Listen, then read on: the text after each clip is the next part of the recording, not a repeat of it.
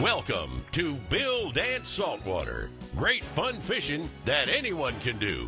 Yes, you can do this.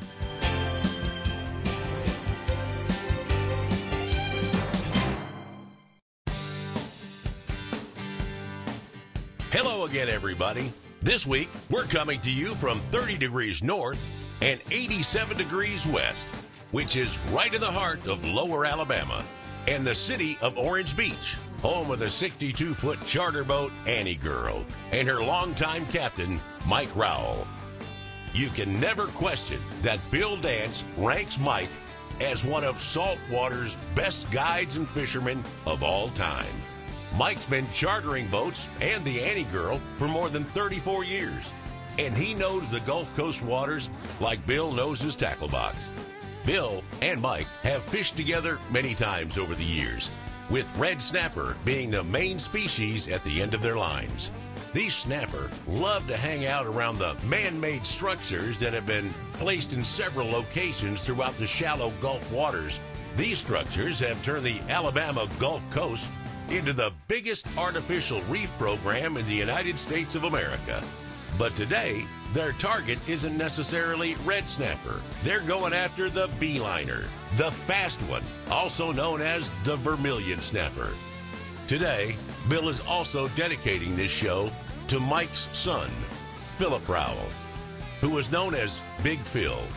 Big Phil was full of life, a great outdoorsman, and is being missed dearly by his family and his friends. Of all the different species here uh, at Zeke's Marina uh, at Orange Beach, what single fish do most of your customers want to catch? Uh, you know, everybody dreams of a big fish, Yeah. but you don't. You know, there's more fish that come in this size than they do in this size. That's right. So, Yeah, a lot of a lot of people like quantity over quality. That's and, true. Uh, and we uh, we have a, a fish here we catch a lot of is vermilion snapper, yeah, and uh, it look a lot like a red snapper that everybody's crazy about. But there's a lot more of them. There's a the bag limits are uh, are higher, and you can catch these fish year round. And they're, uh, they're plentiful here in the yes. Gulf of Mexico. Mhm.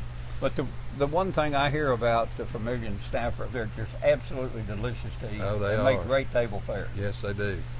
And uh, and you don't have to go out so far for them. Uh, we do a lot of half day trips. Know, kids are out of school, spring break, that kind of thing. We do these half day trips, and we can go out and catch these vermilion snapper just about any time of the year, and we don't have to go so far offshore. We have a lot of artificial reefs here. As you know, we have the largest artificial reef program in the world here You in do, Alabama. you yeah. do, and a lot of people are not aware of that. Mhm. You look at the coast of uh, Alabama coastline. I think it runs 35 to 50 miles, and that's the shortest coastline Yeah. of, of any state uh, in the United States, I believe. Well, in the Gulf. in sure. the Gulf, I mean. Yeah. And so, when you look at that, as far as artificial attractors, Alabama has more artificial attractors within the nine miles from offshore, nine miles out, than any place in the world. Yeah. Now that's saying a lot It is. as yeah. far as artificial attractors. Yes, it's it's been a, been very beneficial.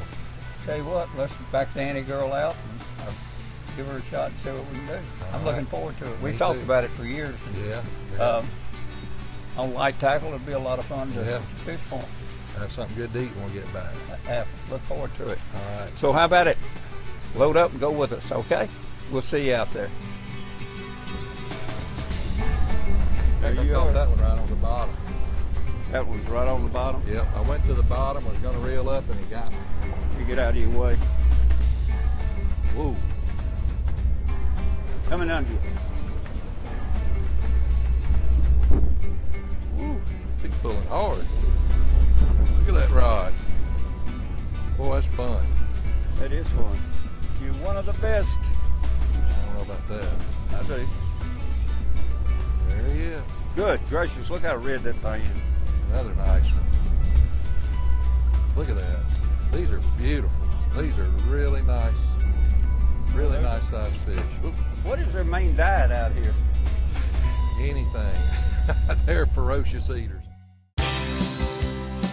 Bill Dance Saltwater is sponsored in part by Bass Pro Shops and Cabela's. Your adventure starts here. Quantum Rods and Reels. Quantum, performance tuned. And by Mercury Marine. Go boldly. Today's conditions log is brought to you by Bill Dance Digital. Follow us on Facebook, Instagram, Twitter, and YouTube for great information that can improve your fishing.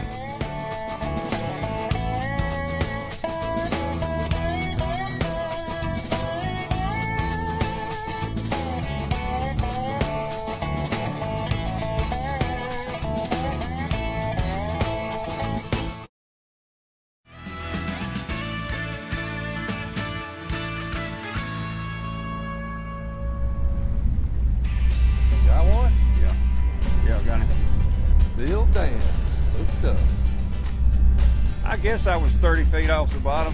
He was. put it in his mouth, you?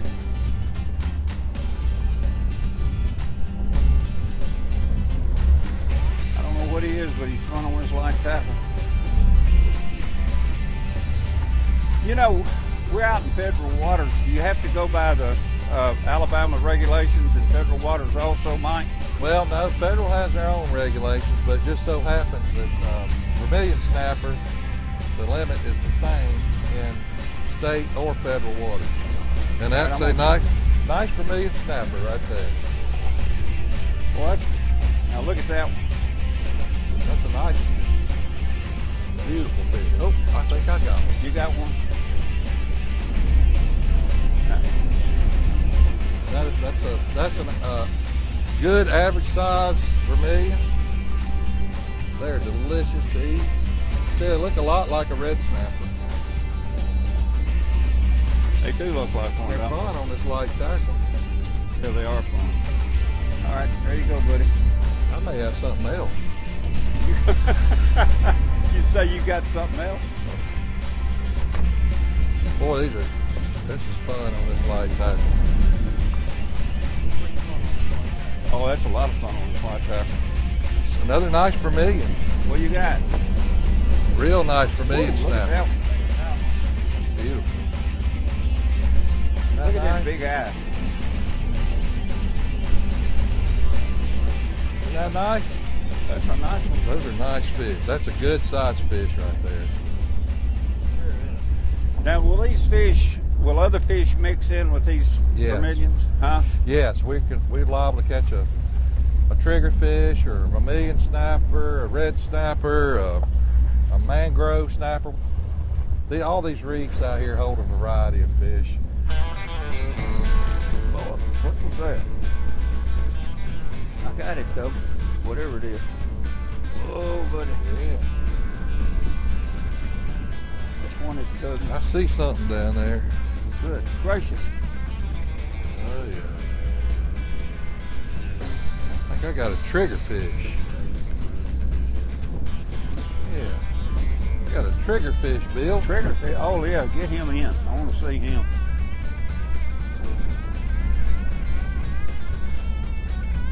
Now, Look at that fat thing. Gray triggerfish.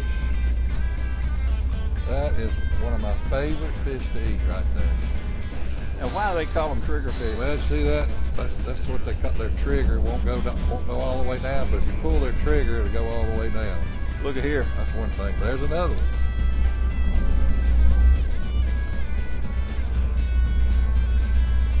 Look at that thing.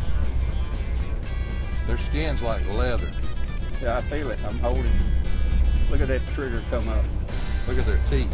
You don't want to put your finger in their mouth. Oh, look at what a pretty smile you have, my dear. Uh-huh. Don't let that one go. You're not gonna keep them. They're not big enough. They gotta be 14 inches. Those are Oh, about they? 12. There's a lot of little ones right now. We got a lot of of uh, re- recruitment this year. Well, they fight good. I know that. I'm gonna let you have him, John. You got the gloves on. Good. I may trade the fish for the rod. See you, dude. Trigger fish. What's the biggest one you ever caught? Biggest one I ever caught was 11 pounds.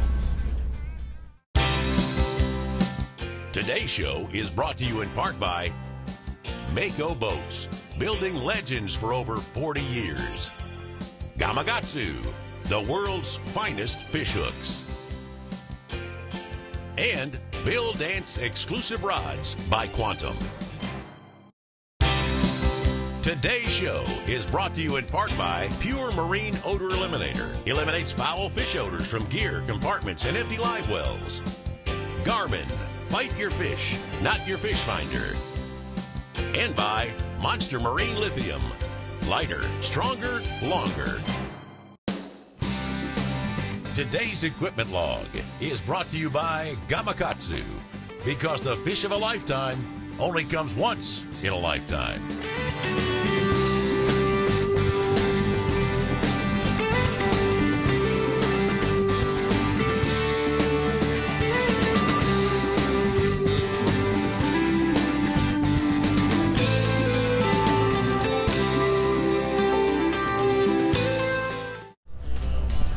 A lot of fun on this light tackle. You get a lot of kids on fishing trips. You Yeah. got a lot. You got a lot of kids. Yes, we this- do, especially uh, during spring break. Get a lot of families, and uh, this is one of the target species for me. Through, through the summer months too. yeah, yeah, we catch them year round. Whoa! Look at here. Golly! I bet that's a trigger fish.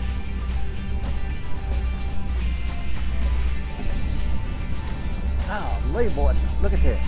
That's fun, isn't it? Yeah, it's fun. That's got to be a trigger fish. Everybody's looking overboard. What is it? Where is it? Where's Where it is going? it? Where What's is it doing? What kind is it?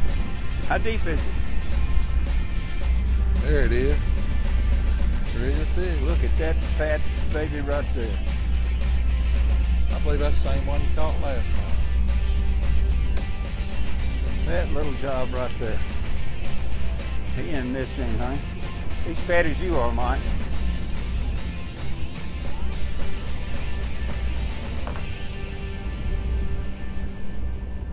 Better. Big eyes. I think we're gonna stick him on our new descending tool. That's really a unique product. This fish has a swim bladder, naturally all fish do. So you can adjust this at 50 feet, you can adjust it at 100 feet, and at 150 feet. And what you do, it's a SeaQualizer, is what it's called. And when you bring a fish out of these fish are 120 feet deep that we're catching. You attach this to your line. You got a three pound weight right here. And you attach this and it drops the fish down. And once it goes through 150 feet, it automatically opens this device right here. It opens up and the fish swims freely. And the fish uh, decompresses the gases from the swim bladder. That therefore the fish doesn't swim on top of the water. So you just hook this to this device right here. Go ahead and open that thing. You open it. This three pound weight is attached to this. And we're going to lower this over the side with the fish. And once that fish and that weight gets to past 120 feet, it's going to automatically open. And that's the depth at which that fish was caught. So we're going to let it down. And once it goes through there, it'll automatically open. That's a neat, it's called a SeaQualizer. So what happens when you bring that fish up, there's no way for it to expand those gases in its swim bladder. And that's why a fish turns up and it floats. But this device allows you, if you're catching fish at 50, 100 to 150 feet, you can hook that to it, drop the fish, and once it goes through that zone, it automatically opens. So you see, it's opened up, the fish is back to the depth of water unharmed. That's a it's a very, very unique product. That's a That'll reduce our release mortality. oh the yeah, absolutely. That's a very, very unique product called uh, the SeaQualizer. If we'd have thrown him back, he'd have swam out through there. A shark would have probably got him, or maybe a bird or something. But he's happy swimming away. The Bill Dance question and answer of the week, brought to you by Bill Dance exclusive rods by Quantum. Whether you're fishing for panfish, bass, catfish, or light saltwater, we have the action for you. Available at Bass Pro Shops and Cabela's. Is boat position key when tarpon fishing? Yes. A powerful trolling motor is important when holding position near migrating schools. It's crucial to silently hang tight, but have the ability to quickly change position if the fish moves. A good way to do this is with a power pole anchoring system. You may have to chase the tarpon once hooked, and pulling up an anchor by hand slows you down and loses the fish, but a power pole is instant. Today's show is sponsored in part by Millennium Marine, a new class of comfort, and by Explore Florida's Space Coast. Countdown to Adventure.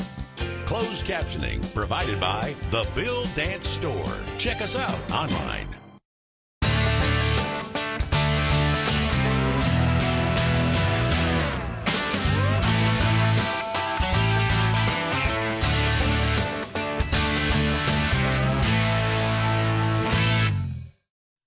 Today's product tip is brought to you by Garmin and their GPS map series, chart plotter sonar combos, with their advanced sonar technology, like Panoptix Live Scope all seeing sonar. You'll spend less time finding your fish. If you want to get to the source of foul odors, use Pure Marine odor eliminator products, like this spray right here. Pure Marine products are easy to use, safe on non-porous hard surfaces, and won't fade over time like masking scents. It's even safe to spray in live wells, storage compartments, and your fishing gear. Eliminate odors with Pure Marine. Come be part of Bill Dance Digital. Join us on Facebook, Instagram, Twitter, and YouTube. Follow us.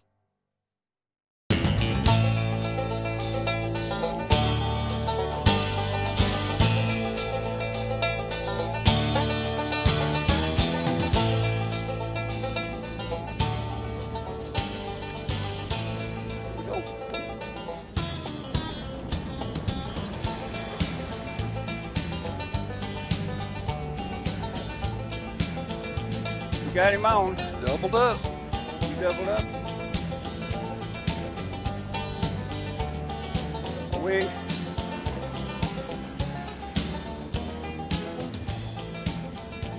when you catch red snappers out of season, um, you just throw them back, right? Yep. Yep, we just let them go. We try. I think I got one. we try to avoid them, but You there's so many of of 'em? them, you, it's hard got- to I- avoid them. I don't know who's got this one. There's a net.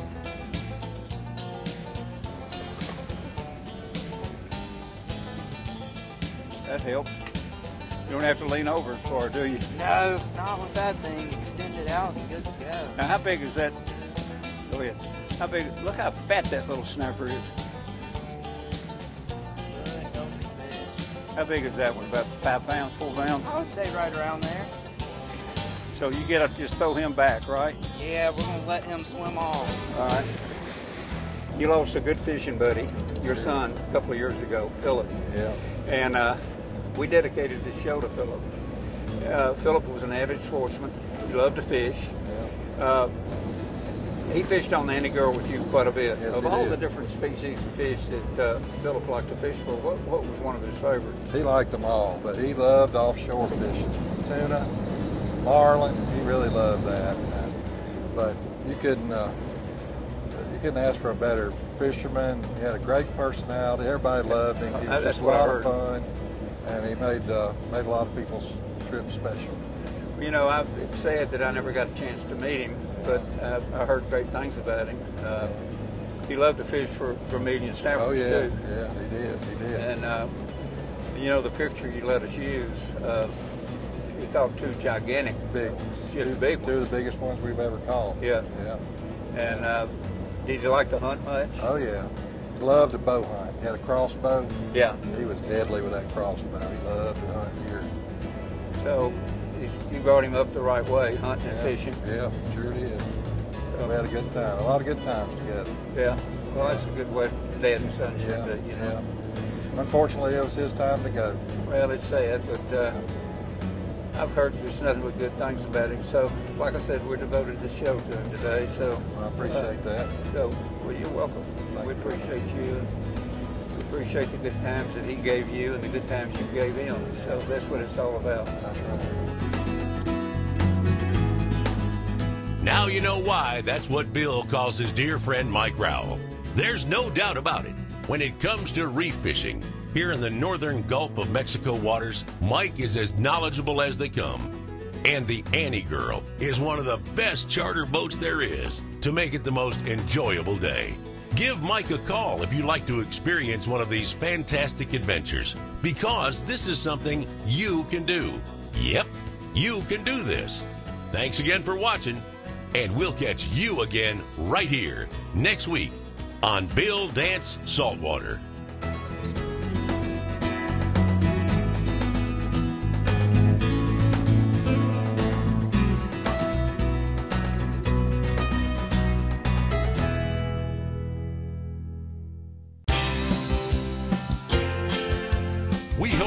Enjoyed Bill Dance Saltwater and learned that you can do this. Yes, you can do this. Please join us right here next week.